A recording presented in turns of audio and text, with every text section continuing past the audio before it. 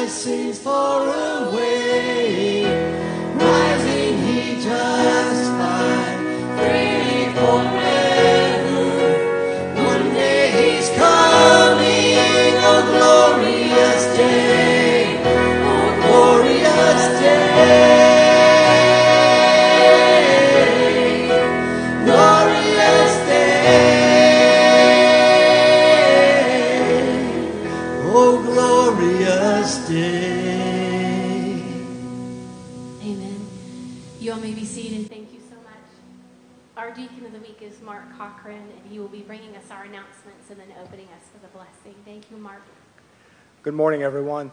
That truly will be a glorious day, won't it? Just a few announcements this morning. Uh, first, I'd like to welcome everyone here for this worship service.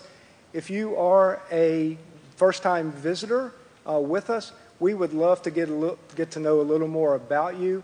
There are uh, little blue cards in the pews in front of you. Please feel free to share your contact information with us uh, so that we can pray for you and pray with you. Uh, also, if you have specific prayer requests that you'd like to share uh, with the church, uh, please feel free to share those with the on the blue card. Uh, the pastor and staff will pray uh, for the visitors and for your prayer requests specifically. So, welcome. just a few announcements this morning in your bulletin. There is a called church conference on Wednesday, August 24th at uh, 7 p.m. Agenda for that conference will be available on August 14th, both in the church and by email uh, on request. We will be having a uh, service for deacon ordination and installation on Sunday, August 28th. Uh, uh, you'll see in your bulletin that we will be um, installing three uh, deacons, Gail Clark, Jackie Inscore, and Rich Lovegreen. Uh, they will be ordained on that day. Uh, so please uh, plan to be here for that uh, special uh, time. Um, the deacon bereavement team is looking for team members. Um, this will help share in sharing the, the glory of Christ as families and members um, experience uh, grief uh, through the passing of a loved one, if you feel led to serve in that capacity, please uh, contact Ellen Anderson. Her number is listed uh, there in the bulletin. And I'd like to share with you that we would really enjoy your prayers specifically for the Child Enrichment Center uh, the CEC is experiencing a shortage of teachers and staff. Uh, they are in the process of interviewing uh, for teachers and assistant teachers and substitutes. There is a great need there. Your prayers can absolutely uh, influence uh, the staffing of that uh, ministry here at Highland. So um, please keep them in your prayers as they go through that uh, process. They're looking for teachers in all classrooms, uh, and so maybe you're willing to share uh, your time to be a teacher or a substitute, or you know someone who is. At the very least, you can share your prayers uh, for that. Uh, so please keep that in mind during your prayer time. One last announcement. Uh, I was asked, there have been requests for printed photo directories please uh, contact Terry in the office. She'll be happy to get you a printed photo directory. Uh, several months ago, we took pictures of families and individuals uh, here at the church to include in that. If for some reason you weren't available to have your picture taken uh, for that, or you, you would like to share a picture uh, to be included in that, let Terry know uh, and she can take care of that for you. Let's go to the Lord in prayer. Father, truly will be a glorious day when uh, we are lifted up to you uh, in heaven. But it's a glorious day here, Lord, today as we are gathered together to share in this worship service. We ask, Lord, that we worship you in uh, praise and uh, joy. And as we are hearing the sermon uh, and the scriptures, we ask, Lord, that you will open our hearts uh, and bless us with your love uh, and that we lift ourselves up to you for your use here in this community to glorify you. In Christ's name we pray. Amen.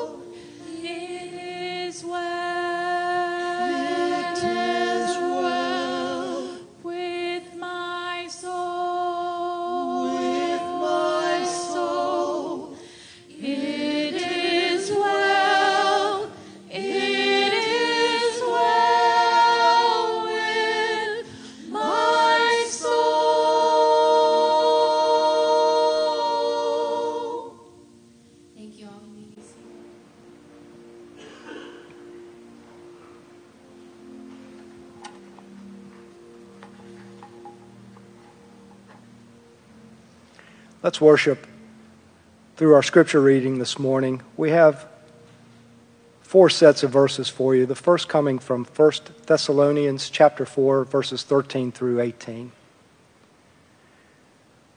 But we do not want you to be uninformed, brothers, about those who are asleep, that you may not grieve as others do who have no hope. For since we believe that Jesus died and rose again, even so, through Jesus, God will bring with him those who have fallen asleep. For this we declare to you by a word from the Lord, that we who are alive, who are left until the coming of the Lord, will not precede those who have fallen asleep. For the Lord himself will descend from heaven with a cry of command, with the voice of an archangel, and with the sound of the trumpet of God and the dead in Christ will rise first. Then we who are alive, who are left, will be caught up together with them in the clouds to meet the Lord in the air, and so we will always be with the Lord. Therefore, encourage one another with these words. From Luke chapter 23, verse 43.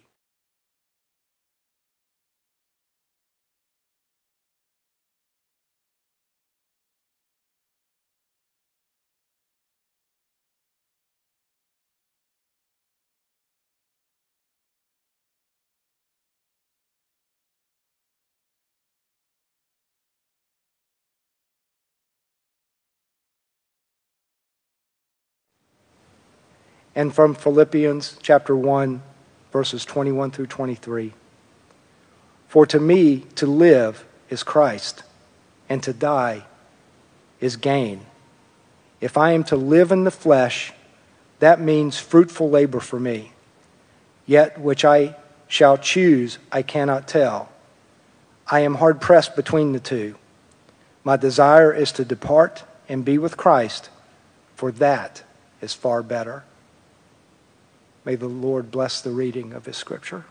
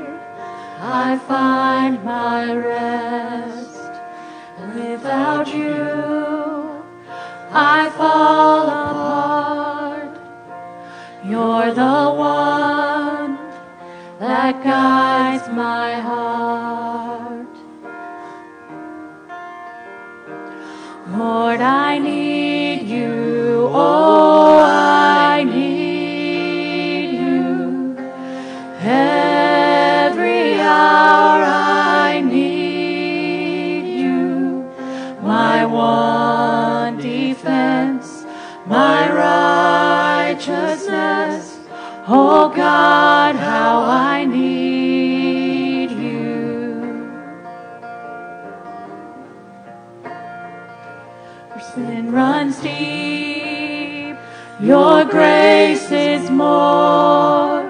Where grace is found is where you are. And where you are,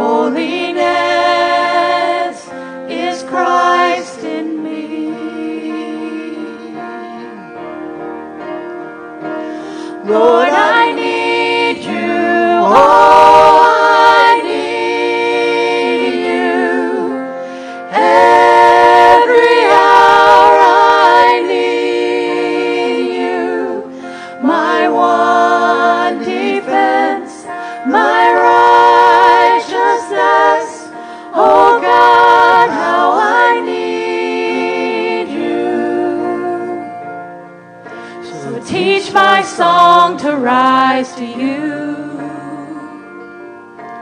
When temptation comes my way, When I cannot stand, I'll fall on you.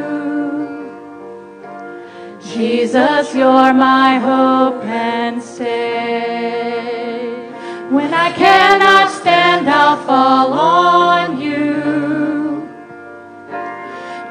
Jesus, you're my hope and stay.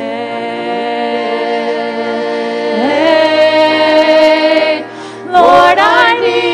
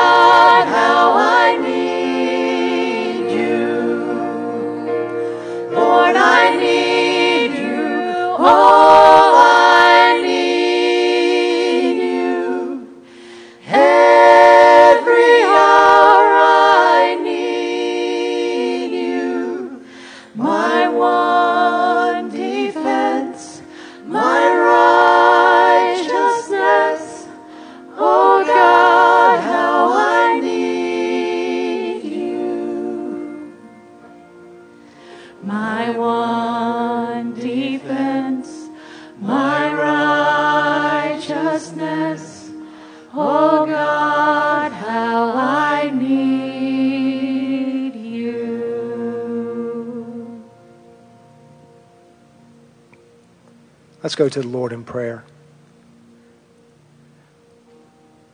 Father, as we worship you this morning through the act of the giving of our tithes and offerings, we ask that you bless these gifts in a way that will glorify you both in this church and in our community. And yes, Lord, in this world. Help these resources to help us go out and share our story of our faith in Christ to our neighbors, to our friends, to our families, so that they can also share your love for them. In Christ's name we pray all these things. Amen. Amen. Thank you, singers. I love hearing the harmony. Don't y'all like hearing the harmony? Thank you. I try to always try to pick out the various parts and enjoy that. If y'all like the harmonies, come and sing with them. I got them, didn't I? Uh, in about a month, I think, uh, choir will start uh, for Christmas.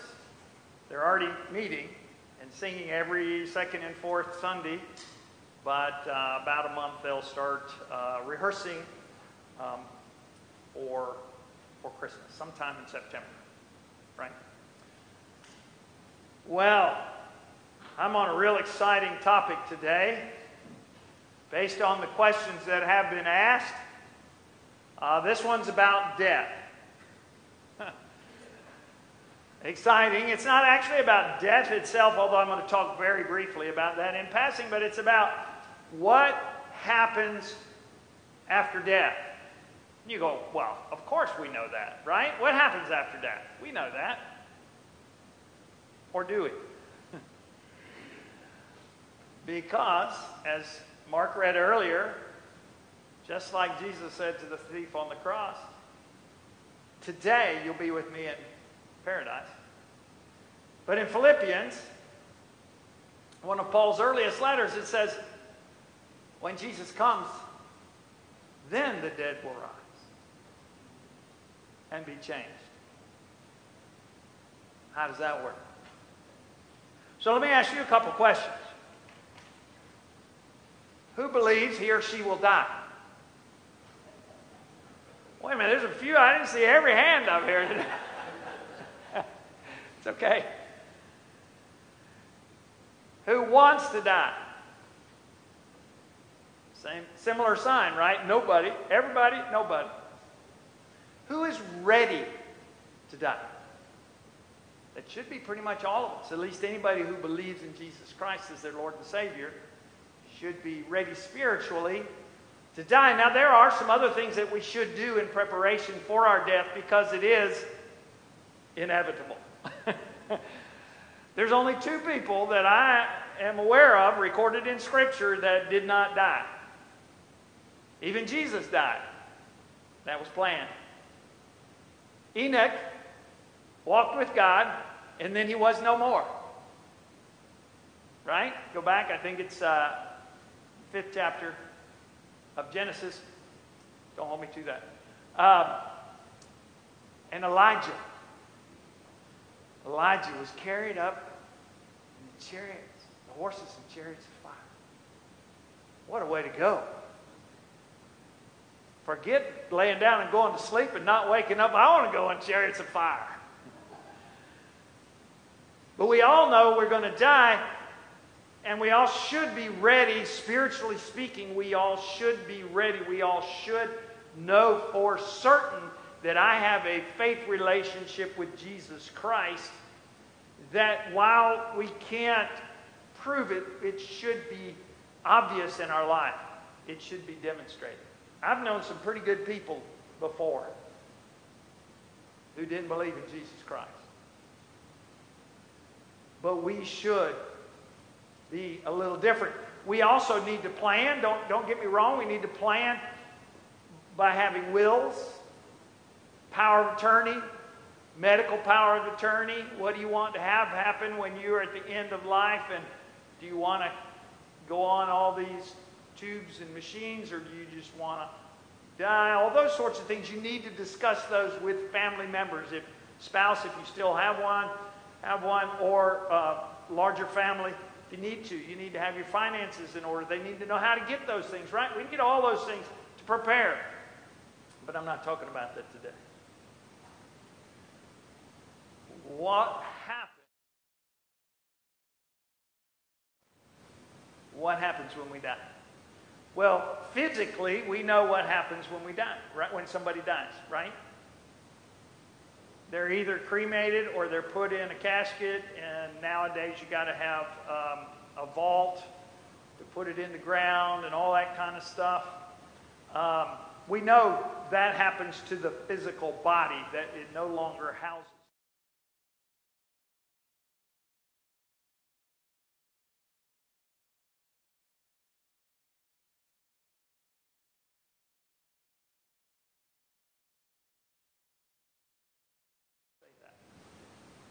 They are.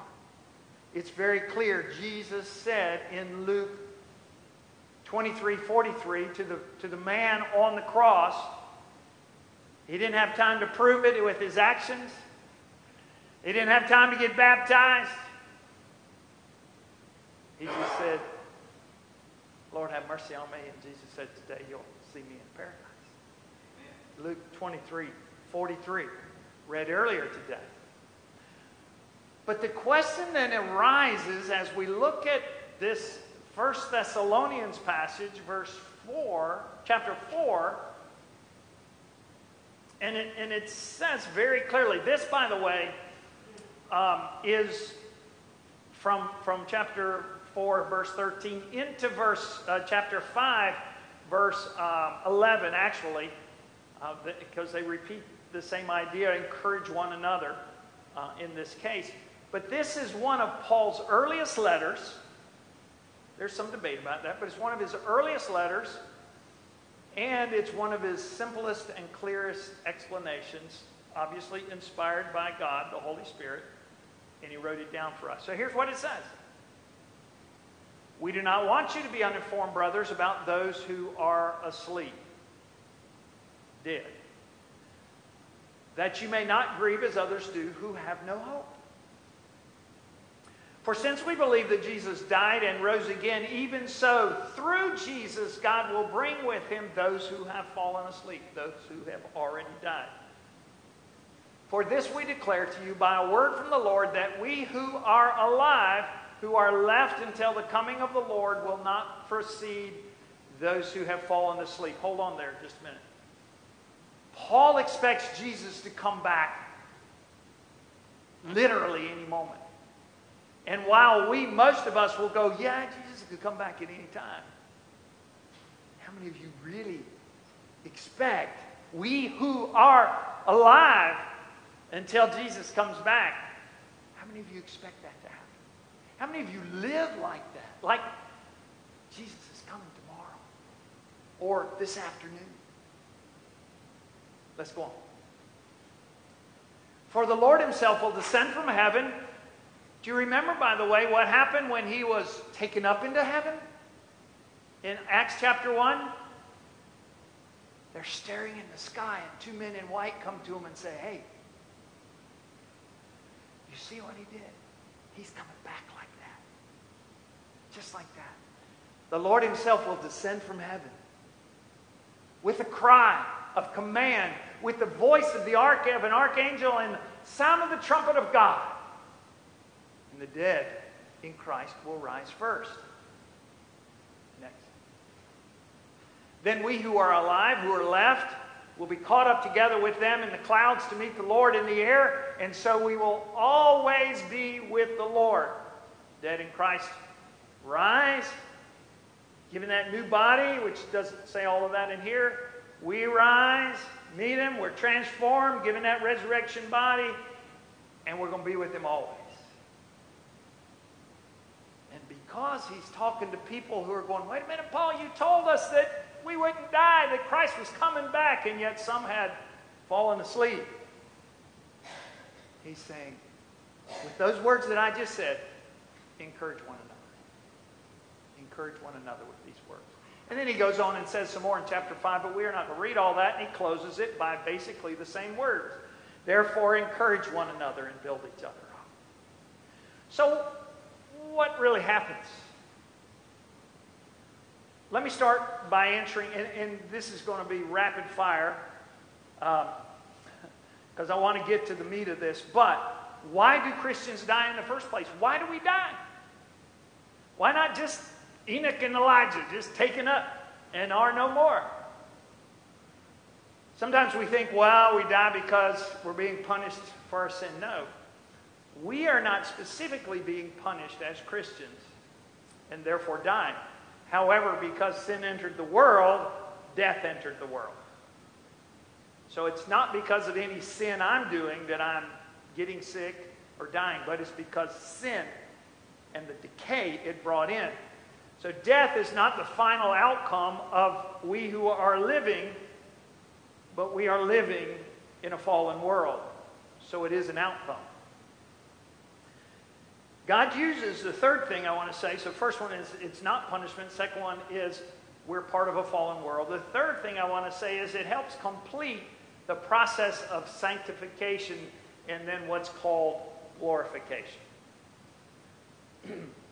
when we accept Christ as our Lord and Savior, we are justified. I've told you before that means just if I'd never sinned justified. We're made right in God's sight through His righteousness, actually. My defense and my righteousness doesn't come from anything I've done, but from what Jesus has done for me. And so then, as we are, our sanctification is completed and we are glorified, then we become one with Christ. So that's two sides of that one coin. And the last thing, whether we die a long life at old age or whether we die a martyr's death. Obedience to God is more important than preserving our life to live a long time. That make sense? It's more important to follow Christ. And if that means imprisonment or death, which, particularly for some of the younger ones, we don't know what's going to happen in this country or this world with Christians, but living for God is more important than living on this earth. So that's some things. Now, what does the Bible not say about what happens after death and before Jesus comes back? You ever heard of this thing called purgatory? Purgatory.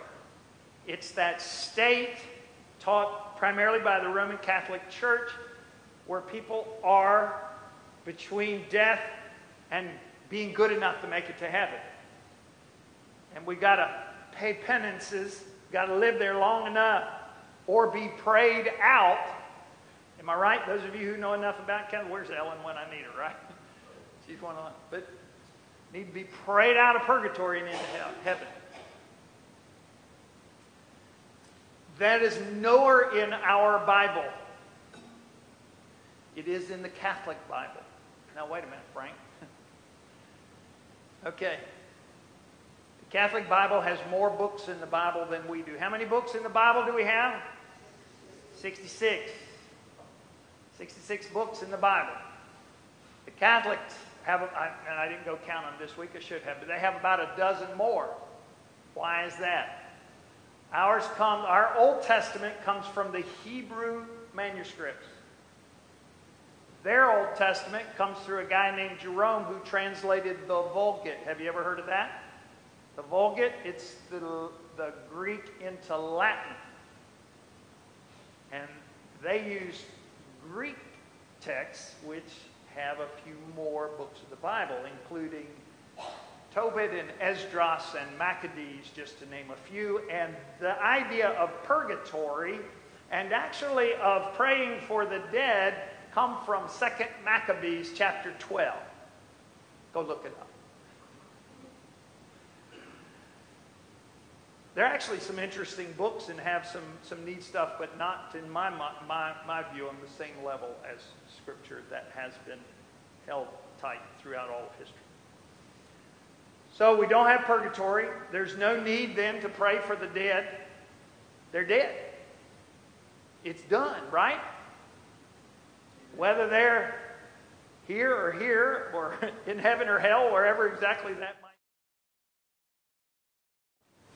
We praying for somebody after they've died is too late. A third thing that the Bible does not teach is what's called soul sleep. Now you heard me read from 1 Thessalonians 4 that maybe they have gone to sleep. Well, that's a nice little euphemism for death. It's not that they are just kind of in a soul sleep, just hanging in, hanging out for a while until Jesus comes back. No, these people have passed away. They have died. Uh, Roman Catholics and some Lutherans also had something called limbo. You ever heard of limbo? They're in limbo. They're in this, uh, this state um, that is between death and, and uh, what comes next. It's waiting until Jesus comes back. But that isn't in the Bible clear either. what happens is that when we die, as Jesus said on the cross, we are ushered into heaven to be with God.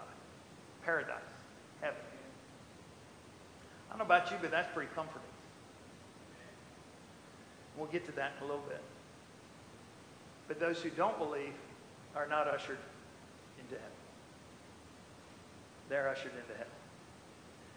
But it's not with our resurrection bodies, and we'll get to that. So, um, death comes, it's a natural outgrowth of the fallen nature of the world, and the Bible does not teach a lot of the things that we hold on to, including a lot of people in this world hope that it's just the end, right? You ever heard? Just annihilation. Just when, the, when I die, that's it. And there'll come a time when there's nothing left at all, and um, that's not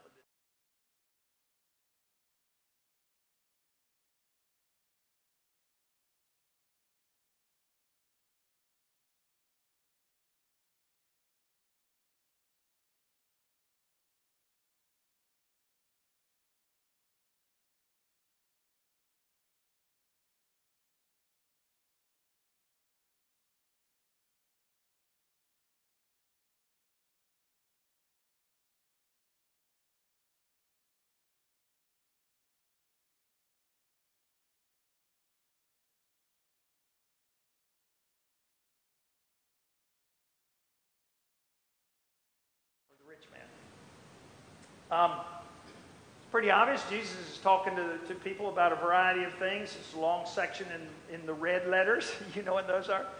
And, and, and he says, tells this story. He said, Now, there was a poor man, a beggar, who used to go to the, to the gates of the temple and he would beg. People would come in and go in to worship and he would beg and the dogs would lick his sores, and he was always hungry, and he never had enough, and all those sorts of things. But there was also this rich man, and he lived in his uh, nice big house with his purple robes and all the good foods and feasts, and, and, and they both died. Lazarus went straight to heaven. Actually gives a good Hebrew or Jewish illustration. He went to be to rest on the bosom of Abraham. And the rich man went to hell, burning in eternal fire. Very clear from Jesus' words. We'll get to that next week when we talk more specifically about hell. But it wasn't die and kind of go into limbo or hang in there immediately. Die, heaven, die, hell. And it's separated. We can't go back and forth. Lazarus can't even go back and tell his brothers, right? If you know that story very well. He's going, well, please send him back to tell my brothers. Can't do that. When we die, our spirits or souls, it's not super clear there, go one place or the other. So, in short, there is an eternal blessing for the righteous beginning at the point of death or eternal punishment for the wicked. Our spirits will be ushered immediately into our eternal dwelling. And then when Jesus returns, we will be given that resurrection body, which is what is said in, um, in 1 Thessalonians. When Christ comes back, we will rise. He will give us our bodies. Now, there's an aspect of time, and this time sometimes gets into question. Is God bound by time? No. Not really. God stands outside of time. When Jesus took the flesh, took on flesh, he was bound by time. But God is eternal. This is my way of understanding it. When we leave time, by death, we enter eternity. And in the twinkling of an eye, in the flash, things change, in my understanding of things. Is that super clear from Scripture? No. Okay, I'm just telling you.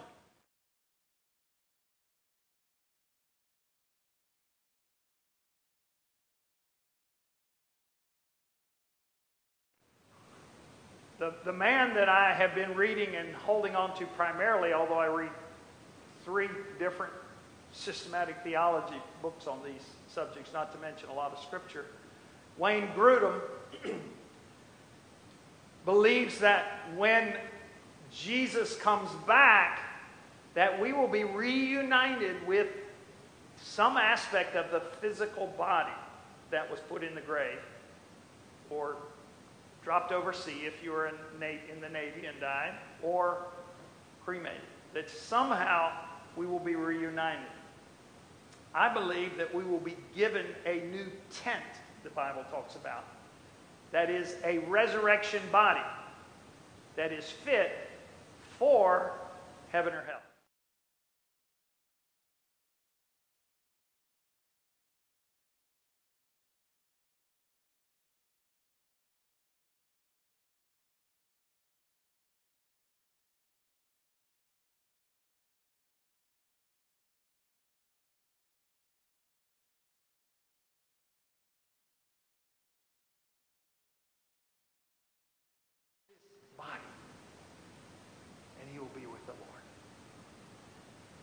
And as he wrote so clearly in 1 Corinthians 15, go read that if you want to see what that body is like. It is like the fish in the water have a body, the birds in the air have a body, we on the earth have a body. When we get to heaven, we'll have an, a body that is fit for that environment, that eternal dwelling. So when we die, our spirit goes straight to heaven but the final glorification, justification, sanctification, glorification, I'll explain that in a minute. That final glorification, when Christ comes back, we are given our resurrected body to encompass the Spirit for all of eternity. Now you're going, what difference does that make? Well, we are justified we live a life becoming more and more like Christ, more and more holy, sanctification, which just means holified. And when Christ comes back and the final bell is tolled, so to speak, on existence as we know it, just like the heavens and earth are completely renewed, so is our body. We're given our body. So, what difference does that make? Very simple. Are you saved? If so, regardless of all the little details, that should bring you great joy. When I die, I'll be with, with God. When He comes back, in the twinkling of an eye, I will be given my resurrection body for all of eternity. When a Christian family member, close friend, church member, when a Christian dies, there's great joy, but also great sorrow. Right? It's a bittersweet thing. But Paul himself said, Don't grieve like those who have no hope. For we have hope, he says, and Christ is going to come back, and those who have already fallen asleep will be, will be raised and reunited with Christ.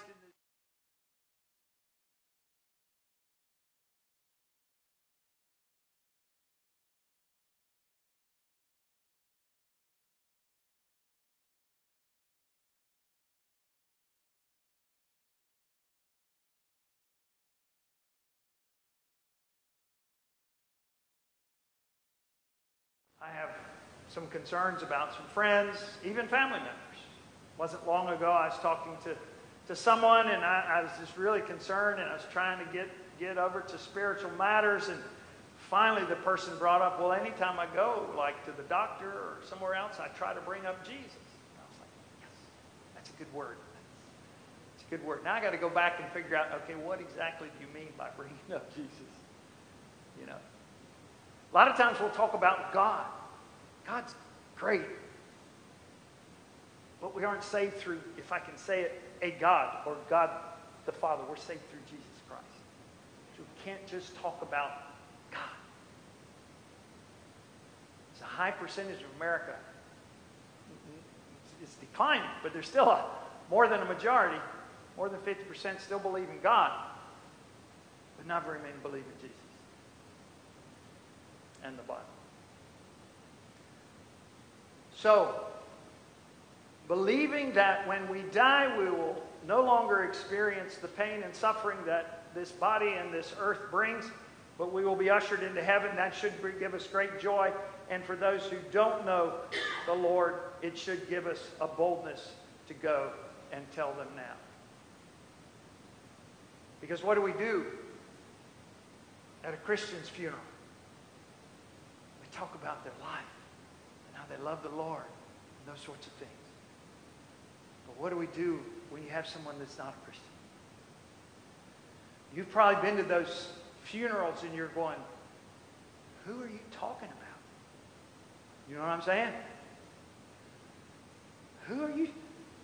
That person was evil or wicked, and you're coming up with all kinds of good things. Yes, if they've done something good, talk about it.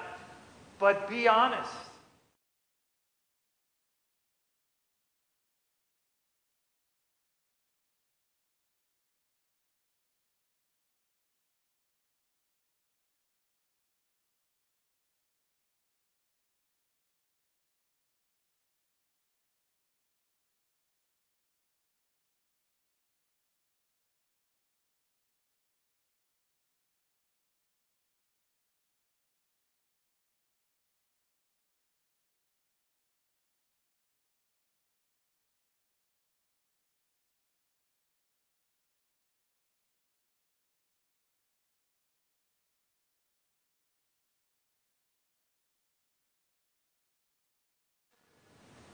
Whether or not God is going to actually reconstruct some sort of physical body from the decomposed, scattered remnant molecules of our dead bodies, or whether He's going to give us a completely new tent, that doesn't matter to me.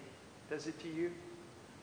The Bible is clear that when we die, we go to heaven to be with Jesus, and at the right time, He will give us a body to live forever.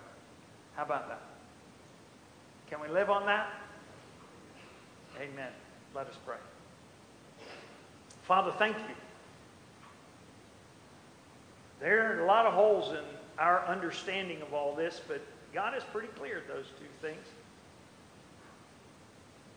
That when we die, we go to that